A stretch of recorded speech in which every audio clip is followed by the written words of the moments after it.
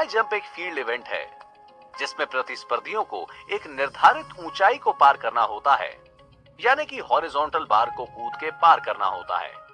हर निर्धारित ऊंचाई को पार करने के लिए तीन मौके प्रदान किए जाते हैं। इस तरह से हर ऊंचाई पर सफल खिलाड़ी का अगली निर्धारित ऊंचाई के लिए चयन किया जाता है, और इस तरह अंतिम निर्धारित ऊंचाई को पार करने वाले खिलाड़ी को विजेता घोषित किया जाता है। रिक्वायरमेंट्स इसमें दो पोल पर एक बार होता है, जिसे खिलाड़ी को जंप करके पार करना होता है। इसमें खिलाड़ी एक पिट पर लैंड करता है, जो फोम का होता है, और खिलाड़ी को चोट से बचाने में सहायक होता है। रूल्स।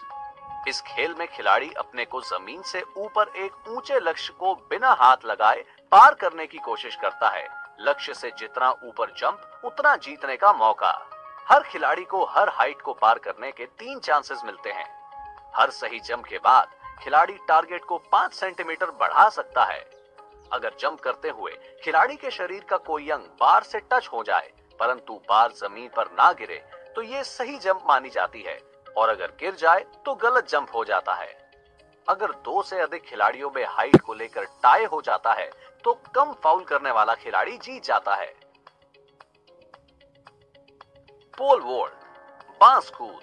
पोल वॉल्टिंग एक फ़ील्ड इवेंट है, जिसमें खिलाड़ी एक लंबे, लचीले पोल का उपयोग करते हुए एक मापित ऊंचाई को पार करने की कोशिश करता है। रिक्वायरमेंट्स इस्तेमाल में आने वाला पोल फाइबर का होता है, जो खिलाड़ी के वेट के अनुसार तैयार किया जाता है। खिलाड़ी को सही पोल ही इस्तेमाल करना चाहिए।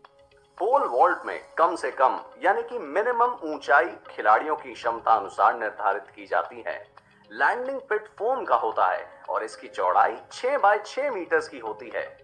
इस खेल में सेफ्टी का खास ध्यान रखना चाहिए, बिना कोच और सही इक्विपमेंट के। प्रैक्टिस नहीं करनी चाहिए। रूल्स ये एक रोमांचक और खतरनाक इवेंट है। इसमें खिलाड़ी एक पोल यानी एक लंबे डंडे के साथ अपने आप को दिए गए लक्ष्य के ऊपर से दूसरी तरफ़ फेंकता है। खिलाड़ी पोल के साथ भागकर अपने को पोल के सहारे ऊपर उठाता है। और हाइट पर लगे बार यानी बाधा के दूसरी तरफ़ जाने की कोशिश करता है। सबसे ज़्यादा ऊंचाई के साथ सफलतापूर्वक कूदने वाला खिलाड़ी विजयी होता है।